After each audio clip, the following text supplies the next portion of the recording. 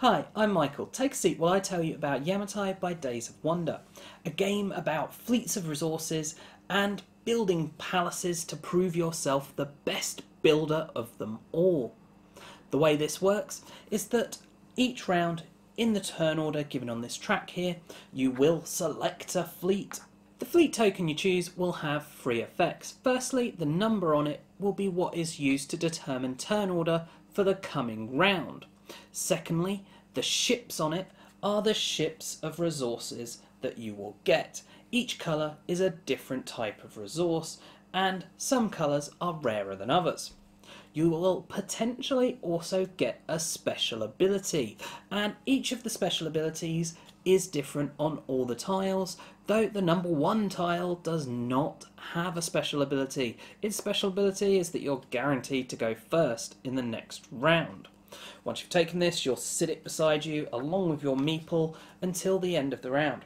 You then carry on with your turn. The next thing you do is you trade. Trading, you can sell or buy these different colours of ship. The rarer they are, the more they cost. Then once you've done that, you take all the ships you've bought or have left from your fleet and then you place them on this beautiful, beautiful board here. Where you place them then dictates what you do next. So as you place these out, you then have two choices. Firstly, you can take culture tokens from the islands next to the fleets that you just put out. You can take one culture token for each fleet, and I'll explain what these are used for in a minute. Alternatively, if there is no culture token on that island that you have just placed ships around, you may build if the available buildings you have the correct fleet ships around. So the different types of buildings need different types of resources around them. They need different supplies. If you meet the criteria, you can do that and you take the building tile and that will give you points. Building tiles are one of the main ways to get points in this game. Another way to get points is just by having money at the end of the game, though that's much less efficient. Once you've decided whether you're building or taking culture tokens, you can then optionally hire one of these specialists from the top of the board here. And again, these are another way of gaining points. Some will just give you points in the corner here, but they will also give you special abilities. And some of these special abilities will give you points or give you ways to gain points or increase your points from building and other things. The way you hire these specialists is any of these culture tokens that you've picked up. If you've got two of a kind, you can trade those in to hire a specialist, or if you have three of any kind, you can do the same. Then it's the end of your turn, and play proceeds to the next player on the turn track, who will do the same, who will do the same, who will do the same, until eventually you come to the end of the round. At which point you'll have fewer of these fleet things here, and you move these down, and then you reveal the new ones that will be the new options you have. You see, there are 10 total fleet tokens, but you're only ever going to use a maximum of four. In a free player game, you're only going to be using three each time, so two are going to stay and you get three new ones. The order of these that you then collect up for all the different players, putting their meeples on the appropriate number for the appropriate tile, you then shuffle these all up, place them out on your board randomly, face down, ready to reveal after the next round if they move down into there. The end of the game, whoever has the most points is the best builder and has pleased Queen Himiko and wins the game. So that is how you play Yamatai. What do I think of the game? Well, let's start with the artwork. The artwork is absolutely fabulous. Just look at the board set out here. It's gorgeous. It's simple. It's there's nice little details in there, but it's just it's bright, it's vibrant, it's attractive. It has a lovely presence on the table. The artwork on the specialists is just gorgeous of these characters. It is just so well done. All the art in this is fantastic and I love the visual appeal of this game. So component wise again, this is a Days of Wonder game. They're renowned for the good visuals, good components, and just in general good accessible games. And component wise as well, they've done the typical Days of Wonder. You've got these lovely wooden pieces, you know, you've got your own personal buildings, you've got the special buildings, you've got the ships. They are lovely. The tokens and cards and tiles, everything in this is just top notch component quality. So, what then about the gameplay? Well, this is an interesting game, gameplay wise, because there are a lot of elements taken from other games, really, that have been present in other games, but they've combined them in a new and interesting way, I think. The whole idea of the way that you gain resources in this is by building these trade routes with the ships is interesting. It's also interesting that you have to have the right type of ships. So if you want to carry on a trade route, you need to have at least one matching colour to do that of the existing trade route. And that's really quite interesting and it just creates this incredibly puzzly game as you try and work your way through it. And that is the thing about this game. The rules are quick, they are simple, they are easy to pick up and learn. It is easy for people to understand what they need to do. However, they are then presented with lots of choices. That is what this game gives you tons and tons of choice. And I think choice is fantastic in a game. But it can be too much for some people. The whole analysis paralysis, that idea where you just, there are so many options of what you could do that you can't pick one, you don't know what to do, can be an issue for some players in this game.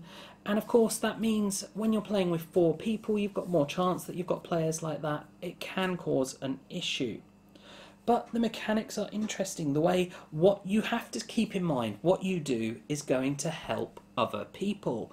As you place ships out, other people can take advantage of those ships, launching off of them for their own trade routes, but also using those for buildings. Because the other thing is, as you take culture tokens, yes, you're taking these, they will help you get specialists, but then you're clearing an island that you've just put these fleets around that then someone else can use a building. So it's very much a balancing the most efficient turn you can have with the most efficient turn someone else can have. And what stops it just being about a kind of stalemate of, well, you went first, you've got to take culture tokens, then I get to go, and then I get to build a building type thing, is that one, you might not have the fleets you need in order to do that building, but two is the specialists. You see, the specialists might seem like a lesser addition and a pointless addition to this game when the key to winning is just building, and if you have the best buildings, you will win. But the specialists create combos. They, if you get the right specialists, if you get the right chain going, you can get big points. These are just going to enhance your gameplay. They might give you more options, more versatility, more able to cope with what other people are doing, more able to manipulate things. And then there's also the powers on these fleet tiles, because the higher the fleet tile, the better the fleets you're going to get, and potentially the better the power, but then you're sacrificing being able to go first next time. And it could be quite powerful to go last and then go first because you can safely kill a clear a tile, knowing you'll be the first person able to build on it next time. So there, this game is really interesting. I really, really do enjoy this game. Now, with regards to replay value on this game, because of the randomized setup of the culture tokens, the specialists, the buildings, there is quite a lot of replay value in this game. I will say I've played it seven, eight times now, and I'm still really enjoying it. I'm not bored by this game at all. It's not feeling the same each time we play. You know, the places that buildings get put, how they get put out is different. The combinations of specialists you end up with is different. So that is good. However, I think if you get to 20, 30, maybe even up to 40 plays, it could do with a little spicing up. But let's face it, it's going to take a year or so, and they'll probably have an expansion by that point coming out that will do that job. The next thing I want to talk about is the scaling on this game. So, I spoke before about how if you have up to four players, then you could have an issue with analysis paralysis, or more likely to have an issue with analysis paralysis. Even if you've not got people with that issue, if you play with four players, you can go first one round and then last the next round. That's six whole player turns that you're just sat out, which is a big problem. And it also means that you can't really plan ahead on your turn because so much will be happening that you can't even be sat there going, okay, so if they do that, I can do this, or there'll be that left. Because six turns, the entire board is going to change. Okay, towards the end of that, you can start then thinking about your turn and planning it out. But yeah. And by that point, because you've gone last, you're probably left with not much choice on the fleet tiles, and so you have kind of a bad turn, a good turn, a bad turn, a good turn, and it might well be first one round, then last the next, because you're trying to counteract the badness. It can seesaw like that and cause a big downtime issue, even without analysis paralysis. So, with regards to scaling, 4 is not ideal on this game. 3 seems to be quite a good level. It's much more balanced with regards to maximum you're going to have 4 turns that you're sat there not doing anything.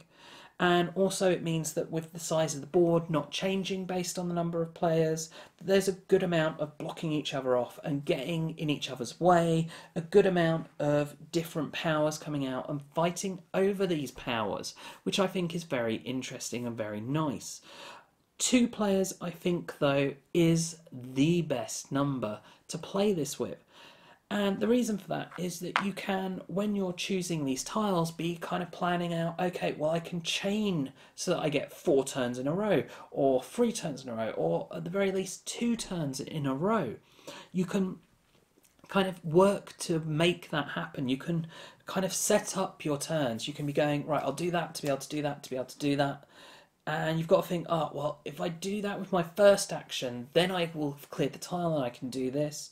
Though at the same time, that then takes away from the aspect of everything you do. You've got the risk that you're helping others because you can set it up so that you don't have to do that all the time. And in fact, you don't have to do it a lot of the time. So, yeah, every play mode has their little niggling things, every player number, no game is perfect, but for me, I think this is an incredibly enjoyable game. I especially like it at two players. I think the whole head to head works fantastically well.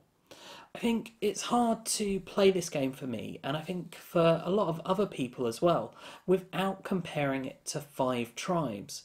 There are a few reasons for this. Firstly, same publisher, same designer, so that's going to have a big impact on them being quite similar games. The other thing is that there are a lot of things similar. These specialists, for example, are like the genies in Five Tribes. In Five Tribes, what you do, you might set up moves for other people. Same thing going on here. The way the turn order track works and being able to set up moves is similar, though different, because you don't have that bidding aspect. It's all about the action selection. And I think that action selection is probably the best thing about this game and what makes it stand out most compared to Five Tribes. The other thing is that in Five Tribes, you start with this big board with tons and tons and tons of options. Everywhere is an option for what you can do in Five Tribes when you start the game. And as the game goes on and meeples get removed and places get claimed, the options narrow and it becomes a quicker game towards the end and uh, easier to make your decisions. Whereas that huge open beginning in Five Tribes can be really daunting, especially for new players. Whereas this is just kind of a bit daunting with the level of choices throughout the whole game. So that is an interesting thing. It's much more in this, you feel like you're very much building towards something. You are building this beautiful city sprawling across these islands. And Five Tribes, you're kind of doing the opposite as you kind of take away the desert, you're taking away the meeples, but at the same time, still building up your goals towards winning.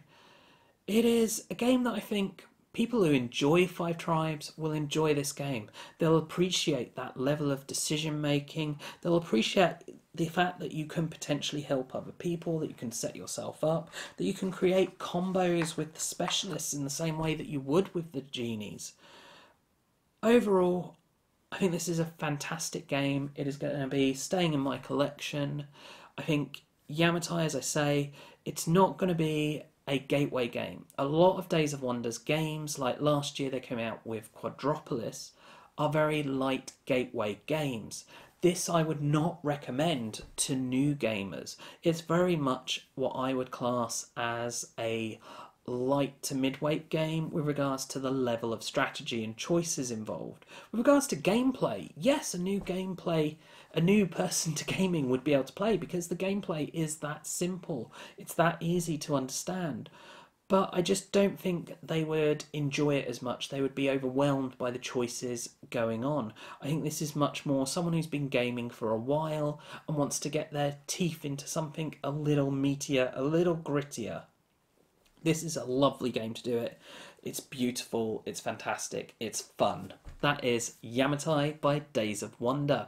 I do hope you enjoyed this video and found it useful. If you have, please do check out the rest of the videos on the channel as well as subscribing and sharing the channel. And as always, thanks for watching and bye for now.